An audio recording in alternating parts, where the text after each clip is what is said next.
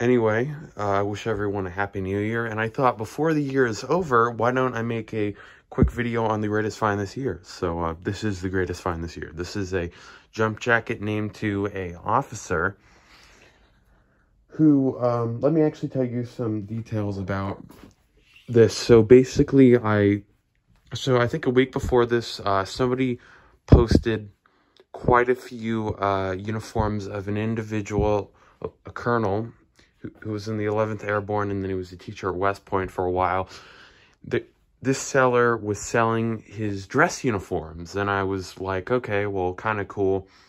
Way overpriced, though. I think he want like $160, $170 a uniform, which was crazy. They were embroidered ribbon bar, but there was nothing special about the uniforms. There were no theater embroidered patches. They were just uh, they were just black dress and then a regular green dress uniform. So I didn't buy them. Somebody went, made an offer, swooped. I think they bought the green dress uniform. They bought the black dress, and then they bought something else. There were two, one or two items from his estate that went to auction, and I think that was a, uh, it was like a senior parachutist. It, it was like a one of those puffy fighter pilot jackets that did have his name on it and his senior senior uh, parachutist wings, but uh, I think it only went for around 60 bucks, but um, I didn't I didn't bid on any of it, and then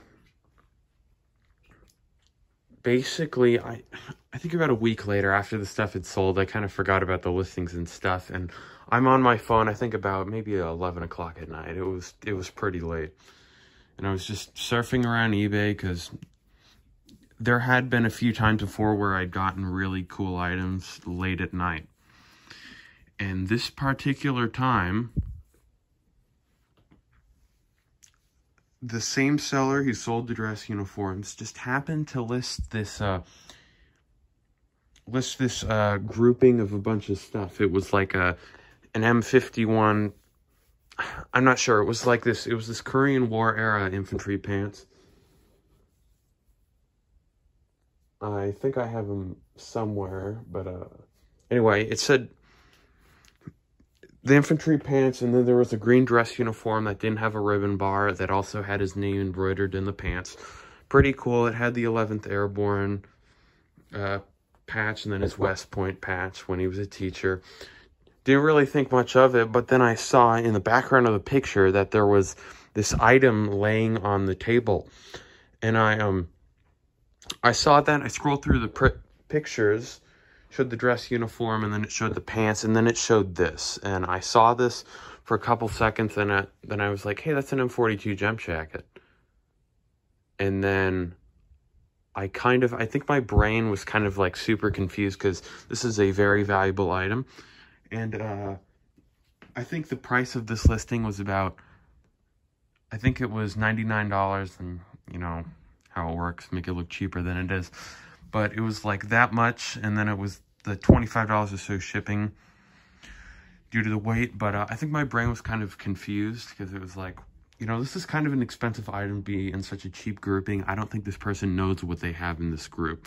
I mean, honestly, the M42s look incredibly distinct. You think they do more research on the uniform, but the person who sold it to me obviously didn't.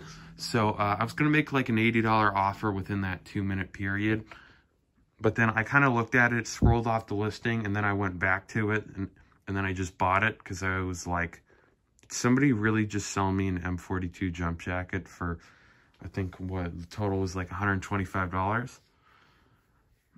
And um, a week of anticipation, this came in the mail. And this is a very cool item, not only because it's in fantastic shape, besides this, besides from this little hole, it doesn't have the reinforced pocket, so it wasn't used too much. It does have a little bit of condition issues there, but that's really the only place. I was concerned about its originality. There was some paint on it for some reason and some other drops.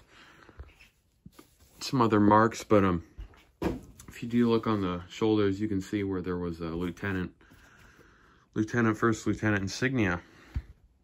And um, looking at this, you can tell that there was never 11th Airborne patch. So chances are this was a training jacket. But, um, I mean, considering the price...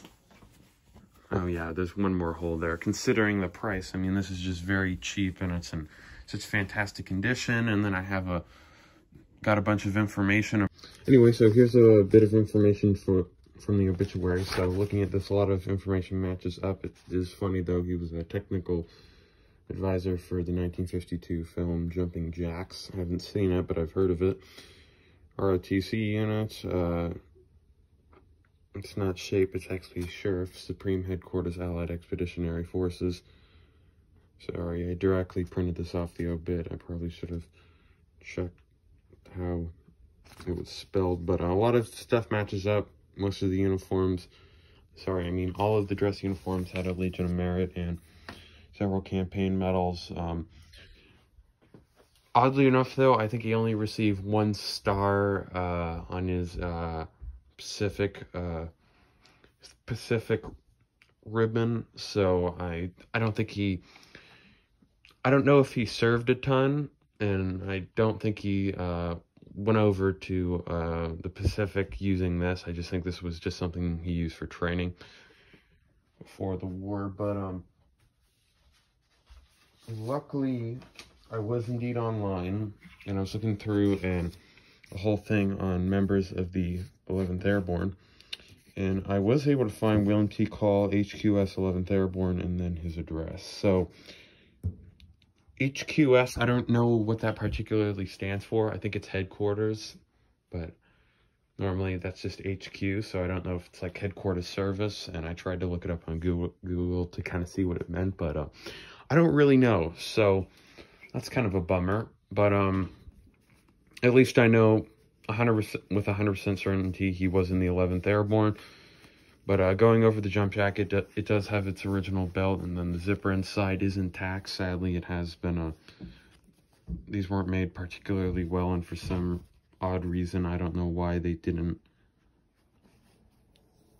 try to stitch it with two different strings to the uniform, because, I mean, the zipper is intact in the uniform, but uh, it's it's quite delicate and not in very good shape. But um, I don't know. I guess that's just an issue with how they made it. But just overall, a fantastic uniform. And uh, I think this is a registration card. I think he went into service in 43. But uh, this, I, I recall him being a William T. Call Jr. But uh, I don't know. This is just something else I printed out. Oh, also, by the way, I just want to show you. So here's his stamped in the uniform, his laundry number.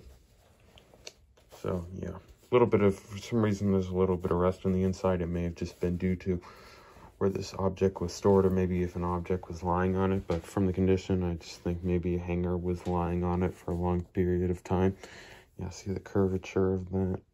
Uh, I'm not completely sure, but uh, the inside is actually in really nice shape. Okay, so here's the dress uniform, so we can see his nice embroidered edge West Point patch. So later in the service, I do like the uh, I do like the buttons. This is, this is, um, these buttons are special. You had to buy those, but you probably just bought them because they look better, but they were not regular issue. And then here's a post-war 11th Airborne patch. So, pretty cool patch, not his World War II patch he wore, and it's a single-piece construction. I don't think it was... I don't think this was made out of country, and uh, yeah. Green dress is in pretty nice condition, but um, I may want to like reconstruct his ribbon bar to put on the uniform at one point. Because I know what his uh, bar looks like. But uh, the uniform was made in San Antonio, Texas. And it's definitely one of the more common makers of this uniform, but um, sadly the uniform does not have his name in it. Okay, and then these are the dress pants. I don't think these went with the green dress. I think these went with the black dress uniform that was sold. So it's a mistake on the seller's part. But uh, can see he had, uh, he had his last name embroidered inside the pants. I don't think these have any holes. But uh, so I'm honestly glad I was able to acquire an M42 jump jacket early in my collecting career, I guess you could say.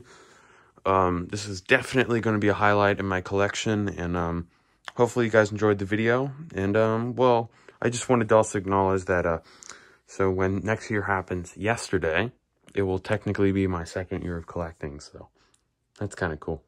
Fun fact. So I'll see you guys next year, and uh, bye.